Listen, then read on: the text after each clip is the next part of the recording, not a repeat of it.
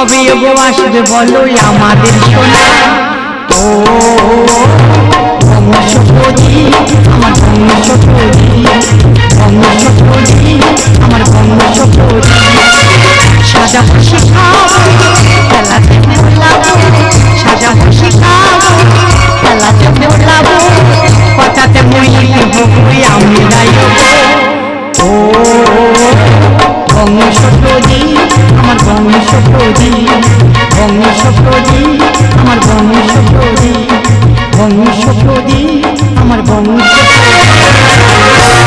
আমার নাম সোনালি, শুনব না কোনো বাবালি ও বাবা কর বাবা, আমি তোমার বলি, তোমার মাসিরা আছে দুটো গল্প করি।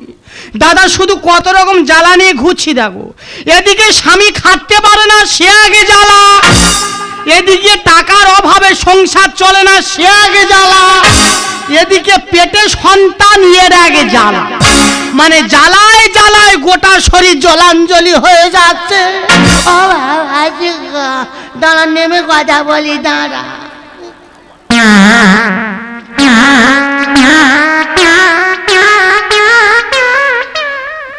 মাগো তোমরা বলো এই সময় কোন মেয়ের না কি খাওয়ার ইচ্ছা হয় বলো তো?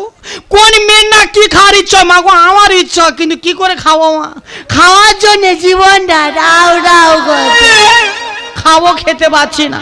কি করে খাব সংসারের যা পরিস্থিতি সব নুন আনতে পান্তা ফুরিয়ে যাচ্ছে। আমার সোনা মোনা ফুন্ডুলি কর তোমরা বলো মা অনেক মায়ের মাংস খাওয়ার ইচ্ছা হয় না? সত্যি কথা বলে মাংস খাওয়ার ইচ্ছা হয় না?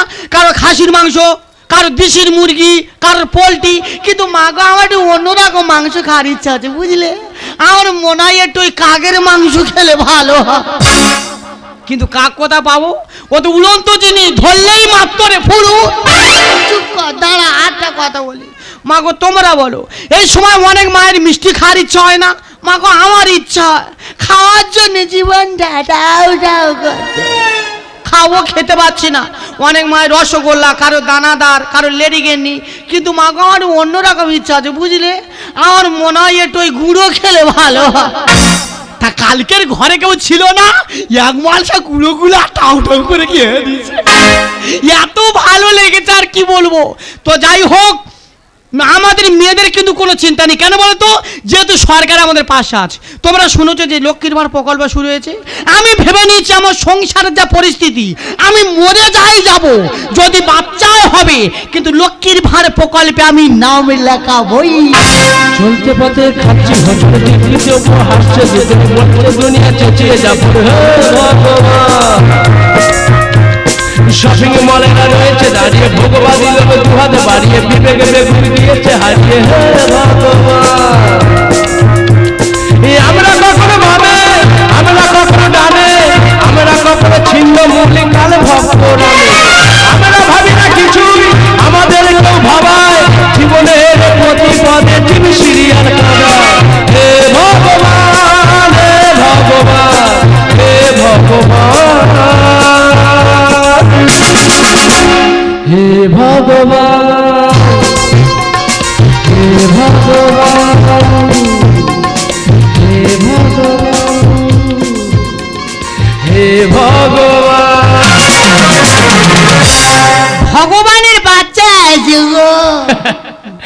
দাদা ভগবান বলা উপরওয়ালা নীতি কি থাকে বলো তো যে যেমন মানুষ পৃথিবীতে সেইভাবে পাঠায়। দেখবে বাবা যদি হয় চাকরিদার, ছেলে হবে চাকরিদার। বাবা যদি হয় ব্যবসায়ী, ছেলে হবে ব্যবসায়ী। আর এখন বর্তমান সমাজে মানুষ দাদা, কিছু পারুক আর না পারুক দেবে, নামের সঙ্গে ঠিক নামটা মিল করে রাখা ধরে। যেমন বাবার নাম যদি অভয়, ছেলের নাম হবে অময়। আর ঠিক আমার ফ্যামিলির একরকম সিস্টেম আছে দাদা। বংশ পরম্পরা নামের প্রতি নামের একটা মিল আছে। আমার ঠাকুরদার নাম ছিল গান্ধী আমার বাবার নাম ছিল নন্দী। আর আমি ছিলাম ভালো গাড়ি অ্যাক্সিডেন্টে আমি হয়ে গেছি প্রতিবন্ধী। বাবা জন্য ঠিক আছে আকের মতো বাবা, বাবা। বাবা ঠিক হয়েছে। তাই আমি ঠিক করেছি আমার ফ্যামিলি নামের প্রতি নামের মিল আছে। আমার যদি ছেলে মেয়ে হয় আমার বউয়ের নামের সঙ্গে মিল করে রাখব। আমার বউয়ের নাম সোনালি ছেলে যদি হয় তার নাম রাখব ভেলি আর মেয়ে যদি হয় তার নাম রাখব পাটালি। দাদা বাল্মীকি মণি সেজেছে বাল্মীকি মণি। বসে আছে ও এখন জানে না। ছেলে হবে কি মেয়ে হবে জানে না। মানুষ হবে কি দানব হবে জানে না। তার আগে থেকে নাম ঠিক করে গেছে আমার বন্ধন বন্ধন অন্য হাম বড় কথা। কেন তুমি কি ভাবছ তোমার পেটে কুকুর ছানা হবে? হ্যাঁ? দাদা এখন ছেলে মেয়ের জন্ম নিলে কি হয়? জন্ম সার্টিফিকেট দেওয়া হচ্ছে। বলে বাবার নাম বলো ছেলের নাম বলো। যদি বলতে দেরি হয় বলে এক মাস পরে আসবে।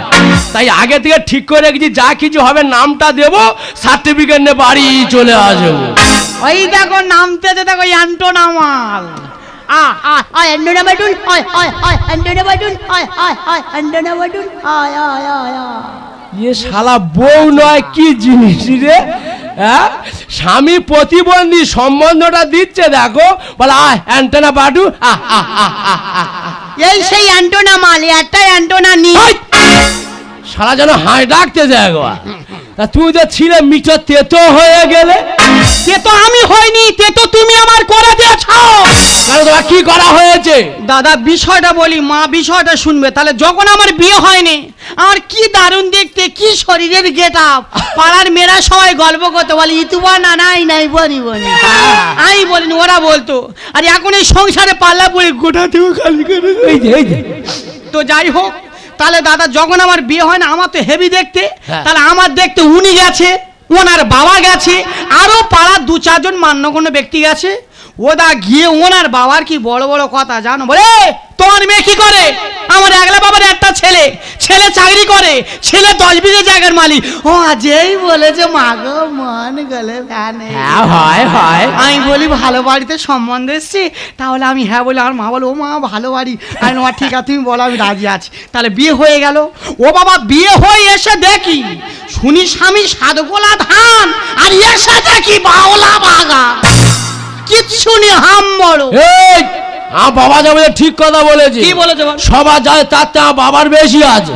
প্রমাণ দাও। কেন তুমি এই নলগোড়া গ্রামে ঘুরে দেখো কারও প্রতিবন্ধী ছেলে আছে? আমার বাবার প্রতিবন্ধী ছেলে আছে। হ্যাঁ হ্যাঁ এটা ঠিক বলেছে কারণ এমাল যেখানে থাকবে গর্ত খুলে পুঁতে ও বাবা। এ শালা শোনো আনারই কথা একবার। শোন একটা কথা বলি। তুমি স্বামী হও অসম্মান করব না। হ্যাঁ। আমি একটা জায়গায় যাব ঠিক আছে? কোথায় কোথায় কোথায়? তুমি শুনেছো যে লক্ষ্মীর ভাড় প্রকল্প শুরু হয়েছে? তাহলে তোমার কি হয়েছে? আমি ভেবে নিয়েছি আমার সংসারে যা পরিস্থিতি হ্যাঁ। আমি মরে যাই যাব কিন্তু লক্ষ্মীর ভাড় প্রকল্পে আমি নাম লেখা হই। ও দা এ তো আনন্দ সংবাদ। লক্ষ্মীর ভাঁড়ে যাবে আমার গোপাল ভাঁড়। কি মিল মাইরি আমার সোনা বলেছি সরকার যখন প্রকল্প চালু করেছে একদিনের জন্য নয় এবছর না তুমি আগের বছর যাবে এই অবস্থায় ওখানে যেও না ছড়িয়ে যাবে গুড়িয়ে নিতে পারব না ওই জায়গাটায় যেও না। কেন যাবে না? এবার বৌদি তুমি রেডি হনি তাড়াতাড়ি চলো। তা কি করে রেডি হব? যেই কাপড় পরি হনুমান কাপড় টেনে খুলে তোমার কাপড় কে খুলে নিচ্ছে? তো অ্যান্টোনা হনু এই কেন বেটা দিতে পারোনি। এ সে এত শক্ত বাতা যায় আস্তে এ তোর বৌদি ঠিক বলেছে তো রাম ভক্ত হনুমান আর বউ ভক্ত শালা জাম্বুমান। দাদা তাই তো বলি আমার ভালো মাথাটা চেটে যায় কি? এই শালা চেটে চলে যাচ্ছে আমি ধরতে পারছি না। দাদা আমার বেড়ায় গাছকে চলে যাচ্ছে আমি শালা বাগানে পাশে শুয়ে আছি আমি বুঝতে পারছি না। দেখ দাদা বাগান তোর হ্যাঁ। তাহলে বেড়াও তোর তা তুই যদি বেড়া ভালো করে দিতে পারিস লোক তো বাগান খেয়ে এমনি বেরিয়ে যাবে। দেখ তোরা যাচ্ছি তুই বৌদির আমি যেতে দেবো না। দেখ দাদা রাগারাই করুন আমি কি বলি শোন বৌদিতে একলা যাচ্ছে না সঙ্গে তোর বউ পাওয়া যাচ্ছে। আর যদি বৌদির কিছু হয় আমি বুক দিয়ে পড়ে থেকাবো এ ম্যাগো ও জানি নে যদি আমার কিচ্ছু হয় ওই বুকে নৃত্য করতে করতে আমি ঘরে চলে শালা যদি এই অবস্থা নৃত্য করে মাটি ফেটে পাতাল থেকে জল উঠবে। কথা বলিস শোন, নৃত্য করার দরকার নেই। বৌমা যাচ্ছে তো শালি যাচ্ছে সবাইকে নিয়ে কিন্তু বৌদির আমি যেতে দেবো না। কোনো কথা আমি বলব সেটাই সেটাই কথা। তুই যাবি, হাত দেখো হাত ছাড়ো খারাপ হয়ে যাবে। আমার হাত ছেড়ে দাও। ইয়ে ইয়ে।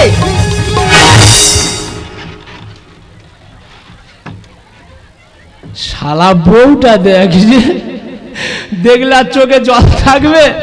দাদা বউটা গেল দেখো। কয়লা ভর্তি ট্রেন এমন করে স্টেশন থেকে চলে গেল একশো পঁচাত্তর কিলোমিটার বেগে। মানুষ আর ধৈর্য থাকবে? দেখ, স্বামী যখন স্বামী একটা দায়িত্ব বোধ আছে, দায়িত্বটা পালন করতে হবে। দেখ পিয়ন পিয়ন, যাব দেখব কোন ঘটনা কোথায় ঘটে যাচ্ছে। হে ভগবান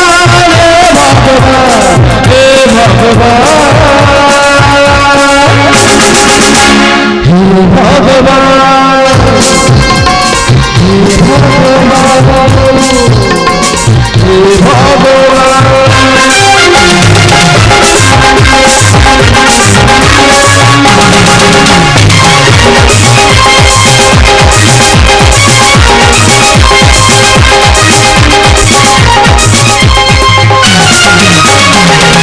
আপনারা অযথা হইচই করবেন না, লাইনে দাঁড়িয়ে থাকবেন একেবারে এক ফর্ম জমা দিয়ে বাড়ি চলে যাবে।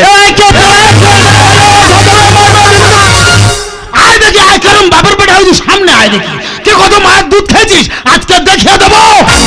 দাদা, তবে একটা গল্প বল শোনো। আমি আমার বউদি আর আমাদের বউ কিছু ফর্ম জমা দিতে, তাহলে আমার বাড়িতে ছোট বাচ্চা আছে। অনেক কায়দা করে। বউটা লাইনের সামনে দাঁড় করে দিয়েছি, আর বলি, বৌদির বাচ্চা তো বৌদির পেটে আছে, বৌদির আর পিছনে দাঁড় করে দিয়েছি।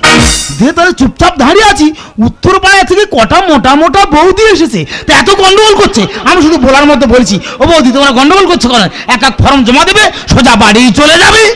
বলে আমাদের ব্যাপার আমরা বুঝে নেব। তুই বলার কি বলে এমন কোনে ঘুষো মেরেছে পায়খানা ঘরের দেয়ালের গায়ে সেপটে দিয়েছে। মায়েরদা সেখান থেকে উঠে কোনো রকম পালিয়ে এসেছি। ঠিক আছে পালিয়ে যখন এসেছি এখানে একটু রেস্ট তারপর দেখি কোথায় কি হয়। ও বাবা মরে যায়। ও মা মরে যায়। তোরা কি মানুষ রে? আমি একটু আগে ফর্ম জমা দেবো তোরা না একটু পরে ফর্ম জমা দিবি। তাই বলে তোরা মানুষের চেপে মেরে দিবি। এই কি হয়েছে রে? মানুষ? কেন? তুমি যদি সত্যি মানুষ হতো মৃত্যুর মুখে ফেলে আসতে পারতে। আরে কি হয়েছে বলবি তো? এই দেখো তুমি আমার লাইনে দাঁড় করে দিচ্ছ হ্যাঁ। আমি লাইনে দাঁড়িয়ে আছি। ভালো কথা। কোথা থেকে একটা বউ এসে সে আমার পিছনে লাইন দিয়েছে? সে কি? সে পিছনে লাইন দাঁড়িয়ে সে আগে ফর্ম জমা দেবে? হ্যাঁ। আমি তার আগে ফর্ম জমা দিতে দিইনি বলে সে আমার চুলের মুঠো ধরে আচার মেরেছে। তুই কিছু বলিস নি? আমিও ছেড়ে দাঁড়ানো নয়। আমি জানি তো। আমি কোনো কষ্টে উঠে হ্যাঁ। ও চোখের ভিতরে আঙুল ঢুকিয়ে দিয়েছি। এই একটা চোখে দিচ্ছি না দুটো চোখে দিচ্ছি আমি বলি দিচ্ছি যখন ভালো করে দি বলে দুটো চোখে আঙুল ঢুকিয়ে দিয়েছি। করেছিস এই আমি কি বলি শুন তুই তো পালিয়ে চলে এসেছিস? হ্যাঁ। বৌদির যা অবস্থা আমার মন বলছে বৌদি আজকের বাঁচবে না। আমার মনে হয় বৌদি আজ মরে যাবে। আমি মরি নাই মরি না মরি নাই মরি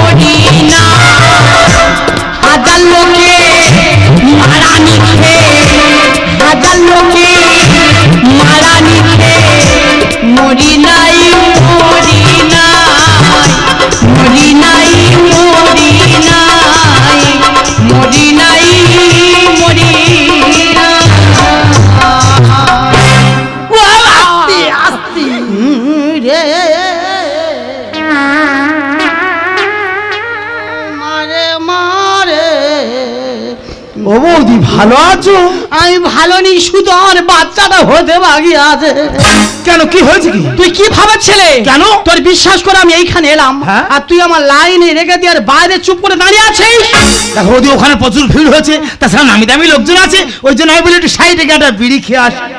আর তুই যদি বিড়ি খাওয়াই আমার তো বলতে পারতিস সঙ্গে আমি একটান করে মারতুম আস্তে আস্তে তবে দাদা মানুষ যে মানুষের উপকার করে এই আমার জীবনের ফাঁস। হ্যাঁ। আমি জানি আমার যা পরিস্থিতি আমি তো কারোর সঙ্গে ঝগড়া করতে পারব না আর গন্ডগোল করব না। তাহলে পিছনে দাঁড়িয়ে আছি তা কোনে পাড়ায় থেকে কটা মেয়ে এসছে জানি না ওরা বলো ও দিদি! তুমি আগে যাবে তোমার এই অবস্থা তোমাকে আগে পাঠাবো। বলে হেই আয় বলে যে ধাক্কা মারলো একা ধাক্কায় গিয়ে সামনে। তারপর তারপর? ও বাবা পড়ে গিয়ে এক হাত জিবার হয়ে তোমার এক হাত জীব আছে। জিপনি তবে ওই সময় বের করে দিছি। দাও বাবু।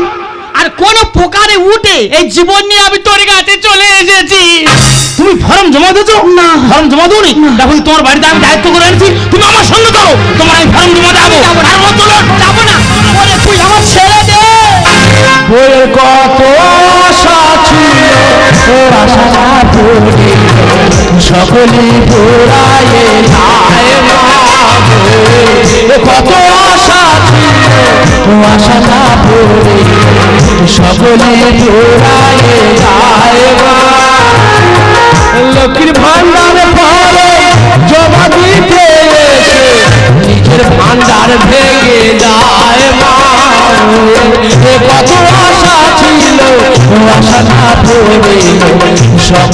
পুরায় যায় রে।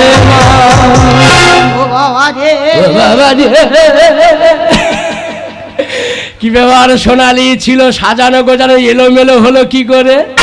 আরে বাবা কিচ্ছু হয়নি কোনো গন্ডগোল নয় কার সঙ্গে ঝামেলা নয়। আর এই ঝগড়া করার মতো মেয়ে আমি নয় পাড়ার ওই ওই সব মেয়ে আমি না, না। ওই লাইনে দাঁড়িয়েছিলাম দশ বারোটা বৌদি ভালোবেসে পা দিয়ে চেপে দিয়েছে বৌদি চিন্তা করে যদি এই অবস্থায় একজন ধাক্কা মারে মানুষ সহ্য করতে পারে? দশ বারোটা মেয়ে পা দিয়ে চেপে দিতে কোনো মাইন্ড করে না। শোনো এটা আমাদের ব্যাপার আমরা বুঝব সোজা বাড়ি চলে যাও। বউ নয় বাঘিনী এমন মেয়ে দেখিনি। কি হয়েছে ফোনটুলু? খারাপ লাগছে? এই ফন্টুনুটা কি রে এই? মাইন্ডে নিও না তুমি এখন বাঘিনী রূপ দেখোনি দেখবে বাঘিনী যখন সন্তান প্রসব করার সময় হ্যাঁ। জঙ্গল ছেড়ে পালায় ওর সামনে যে পড়বে হাজিরে মেটে দেবে বউ নয় বাঘিনী মেয়ে নয় বাঘিনী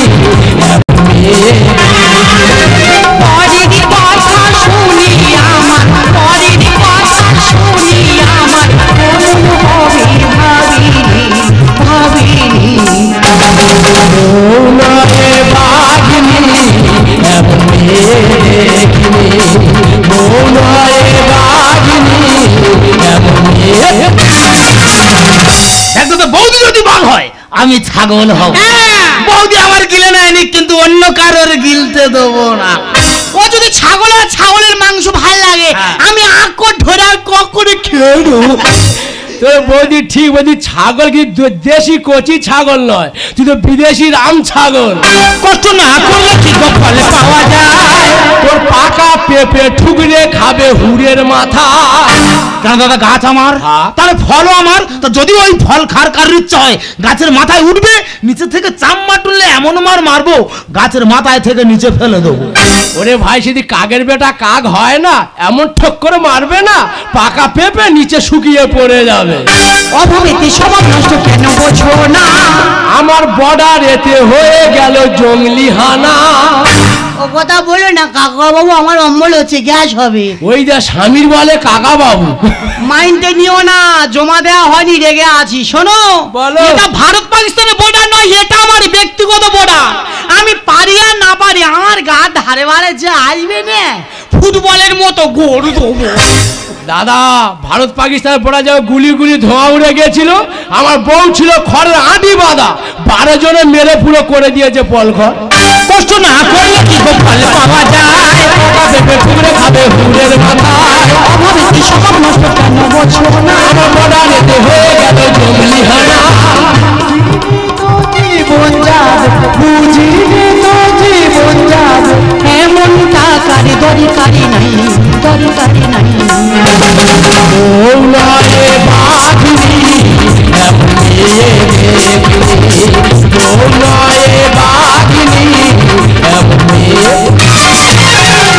দেখ দাদা একটা কথা বলি শুন। সরকার সুযোগ দিচ্ছে বলে এই না তোর বাড়ি বয়ে টাকা দিয়ে যাবে। সরকারি টাকা পেতে গেলে ওপর চাপ নিম্ন চাপ সাইড চাপ তো একটু খেতে হবে। ও জানে না দেখবে চাপা চাপি যেখানে টাকা পাবি সেখানে। তোর বৌদি ঠিক বলেছে তো? চাপা চাপি যেখানে তো বৌদির বাচ্চা হবে সেখানে। বারে বারে আসে না রে এমন সুযোগ। কথা শুনলে পরে আসবে দুর্ভোগ। কেন দাদা? তুই বলি দাদা বৌদির দায়িত্ব আমার। হ্যাঁ বলেছি। তুই এমন দায়িত্ব পালন করতে বৌদির অবস্থা খানা দেখে নে। বারে বারে এমন সুযোগ। তোর কথা শুনলে পরে আসবে দুর্ভোগ। যুধিষ্ঠিতায় লিখছে গান যুধিষ্ঠিতায় লিখছে গান। সরকারিতে হয়রানি হয়রানি। বউ নয়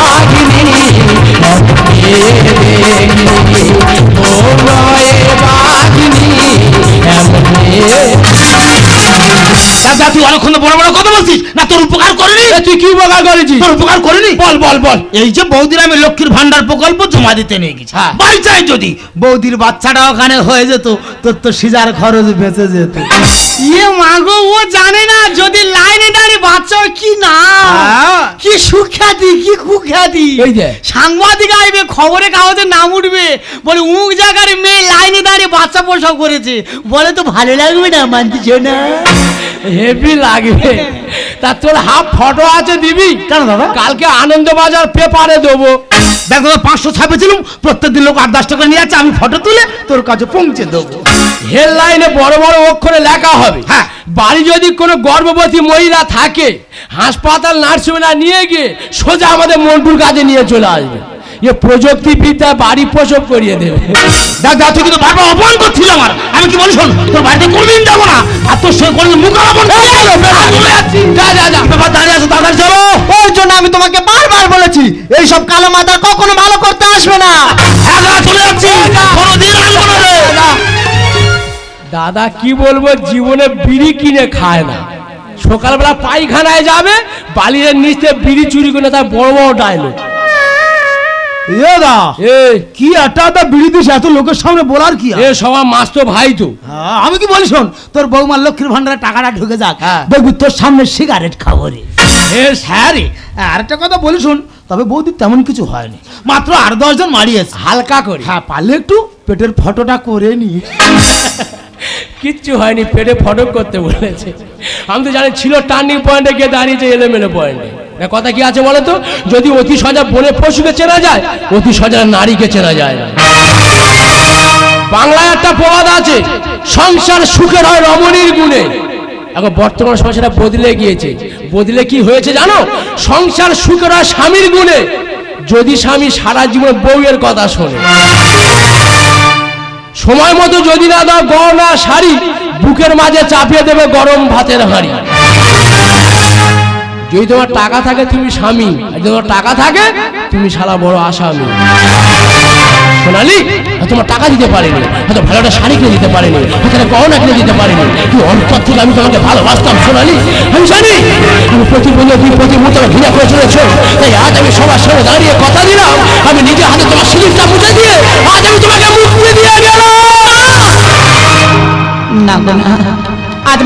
পেরেছি সব ভুল আমার। কারণ এই অবস্থায় এখানে আসা আমার ঠিক হয়নি। আর যদি আমার কিছু হয়ে যেত আর যদি আমার সন্তানের কিছু হয়ে যেত আমি তো ফিরে পেতাম না। ও তুমি আমাকে ভুল বোঝো না। আমার প্রতিটা ও!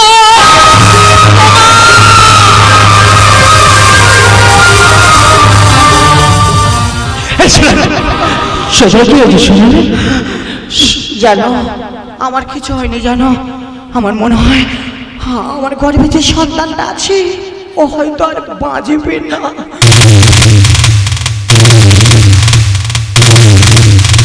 সোনালি সোনালি বলো না তুমি যে কথাটা বলছো সম্পূর্ণ মিথ্যা কথা। আ, আমার আমার সন্তান কিছু হতে না তুমি বলো না সোনালি। আ, আমি তোমাকে অপমান করেছি বলে তুমি তুমি আমাকে শিক্ষা দিয়েছ মিথ্যা কথা বানিয়ে বলছো তাই না? বলো না আমার সন্তান কিছু হয়নি। বলো সোনালি বলো না আমার সন্তান কিছু হতে পারে না। সোনালি! সোনালি বলো আমার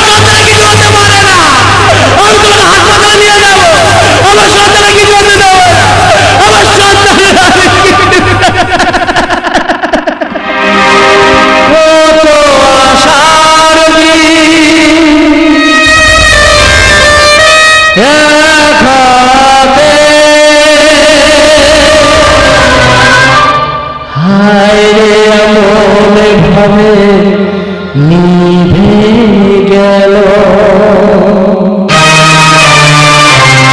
কত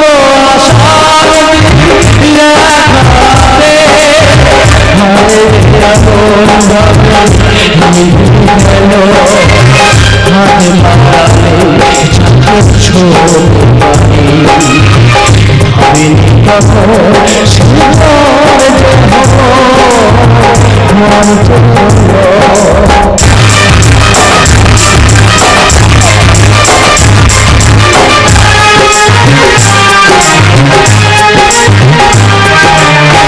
স্বপ্ন চোখে কিনে গেল স্মৃতি হয়ে রয়ে গেল স্বপ্ন চোখে কিনে গেল